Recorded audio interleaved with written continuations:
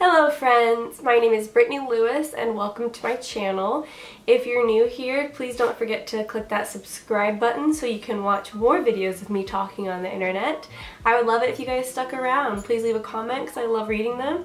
And make sure to follow any slash all of my social media because you just can't get enough of me, right?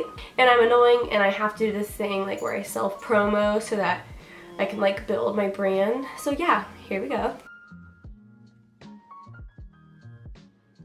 And now that that awkward intro and self-promo is over with, let's get to the meat, the flesh of this actual video. So, I know that my audience is mainly college-aged females, high schoolers, and guys sometimes, but it's mainly like 80% girls, 20% guys, but yeah, just saying, that's a statistic that I got from my YouTube analytics because I am a professional YouTube person now.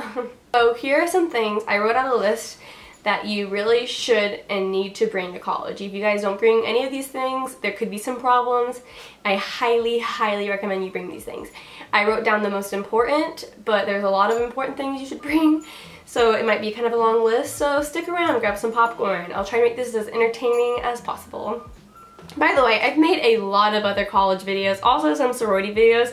It's all in my college playlist. It's like called college stuff. I would definitely check that out. I have a move-in vlog. I have a dorm haul from last year. So if you want any more information about this and you want to get it from me, definitely check out that playlist. It is linked down below. Start in the bathroom slash toiletries area. A shower caddy. This is more for if you live in a dorm, but it also can work if you live in an apartment or any place with roommates. And it's this container that holds like your shampoo bottles, your razor, your scrubber, anything like that you want and you keep it in there and that's your stuff and then you bring it to the shower or you walk down the hall to the communal showers whenever you're ready. Also, this is for if you live somewhere that has a communal shower, a communal bath. Um, I would recommend buying cheap, like super cheap flip-flops and using those as shower shoes and this is what my mom told me to do. Um, and you walk around in the shower and in the bathroom so you're not like getting fungus in your toes. It's, it's gross. It's a thing. With your roommates you guys all have like your own towels. You probably don't want to be using their towels. They don't want to be using your towels. You could get your towels monogrammed or get a specific color for your towels and then keep them in a certain spot where you know that they are and you're ready to grab them and go to the shower. That's how you guys will stay clean and keep good hygiene. Get a mattress pad because the mattresses at college in the college dorms are not going to be that comfortable. They're going to be basically the cheapest possible because they have to fill these dorms with so many beds and they don't want to waste a lot of money on like hundreds and hundreds of nice mattresses. So, you know, get a mattress pad. You can get one from Target, Bed Bath & Beyond. It's like two or three inches, you know, and it's just like, you just sleep on it and it feels a lot better. I think they're amazing. They made my bed feel amazing. I still have it on my bed at home because I have a mattress pad on my normal bed at home. Like they're just mattress pads are definitely life changers. I would definitely recommend getting one. Also for your bed, get another set of sheets so that you don't have to like waste a lot of time walking up and down the stairs and washing your sheets every so often. Instead, you can just change them out and then wash. It saves you time. I recommend getting velvet hangers, thinner and less chunky than plastic hangers, and they'll take up less space in your closet. And that is the number one problem with living at a college dorm and apartment is the lack of space. Velvet hangers will help you a lot with saving space. Speaking of space, one of the top top things, probably one of the most important things that I can recommend for you guys to use is storage. Buy storage containers. Like you can get those plastic drawers from Target, Bed Bath & Beyond. I keep saying Target and Bed Bath & Beyond, but those are truly the best places to go for dorm shopping and Ikea. Get a bunch of them because you're gonna be stashing papers, pencils,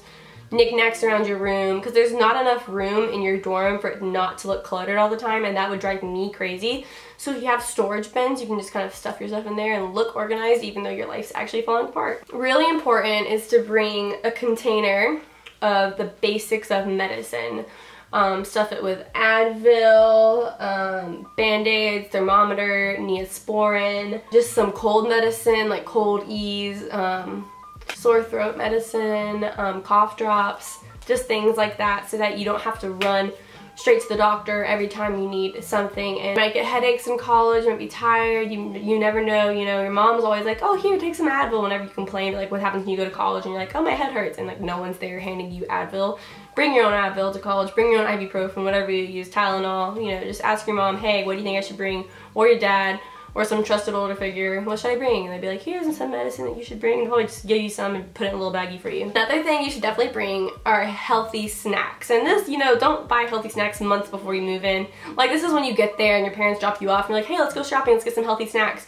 Get like granola bars, um, Gatorades, waters that you can keep in your apartment, um, water bottle containers actually so you can go around campus because usually a lot of campuses have water fountains or like water stations where you can fill up your bottle and save the environment and not waste plastic. Yeah, because you're gonna wanna snack a lot in college when you're stressed or if you're hungry. You don't wanna walk outside your dorm all the time because you're lazy and you're watching Netflix and you just wanna snack. Um, I like keeping popcorn in my room, in my dorm, in my kitchen at all times. Popcorn's a great snack for me. I mean, it might not be the healthiest thing ever, but it's light and it's filling and it's salty and I love it. And it's not as bad as like eating potato chips. I, or I think it's not. You correct me if I'm wrong. I'm not a fitness guru, sorry. If you're living in a dorm and not an apartment that doesn't come with a kitchen, I would recommend bringing your own mini fridge so you can keep like meals in there, waters, smoothies, whatever you want just to keep cool. Um, I know a bunch of friends that lived in dorms that they had their own mini fridges and it really helps. If you can, I would bring a toaster just so you can toast toast in the morning because sometimes you gotta rush and just pop some toast in the toaster, put some peanut butter, almond butter, whatever kind of butter you want, or just regular butter, and walk out the door with it and that's just really easy. I mean the toaster is not a huge necessity but like if you want to bring it I think it'd be cool. I know Keurigs might be kind of expensive from the get-go but if you buy one of the older um, versions of it, it might not be as expensive. And I think over time you end up saving more money than going to Starbucks or buying coffee somewhere else every day by using your own Keurig. So I definitely recommend if you have a Keurig at home or an extra Keurig or like you want to buy one and save up, I think it's a really good investment for college. I think a microwave would be really great to bring because popcorn and frozen meals are kind of lifesavers in college and so yeah bring a microwave. I heat up my little Amy's frozen meals I get from Publix slash Trader Joe's or pretty much any any grocery store. They're like all vegetarian. They're really good low sodium. I love Amy's meals. Another thing that people always I forgot about this okay always forget about and don't remember you know you should bring some cups bring some bowls plates silverware or disposable bowls plates and silverware it doesn't really matter also salt and pepper, which is like very funny, but you're gonna forget salt and pepper probably and you might need it for your food. Obviously, you're going to need a backpack, you're gonna need pens and paper, you're gonna need a calculator and a laptop just do your schoolwork because hey, that's what you come to college for, don't forget. You also should bring some clothes for going out and if you plan on partying in college at all. Bring a lot of comfy clothes like leggings and big t-shirts because that is basically my everyday uniform for going to school or walking around to the library. I don't wear cute stuff every day. Workout clothes because you need to work out in college. Tennis shoes. Um, your cute shoes, regular shoes. Pretty much I, I just bring all my shoes to college. It was kind of a hassle, but I still did it. Bring a pair of shoes that you don't care about getting dirty. Like I bought a pair of these Keds from Walmart and I'd wear those to game days and parties because those places are both really muddy sometimes and messy and you don't want to mess up your cute, nice shoes. If you guys have any more college videos or sorority videos that you guys think I should do, I'm kind of doing a series on it right now since school's about to start up again. Comment them down below. Also, if you want me to do videos about high school since I graduated and I did that a couple years ago, feel free to comment ideas for those too because I would love to help you guys with that also. Bye guys!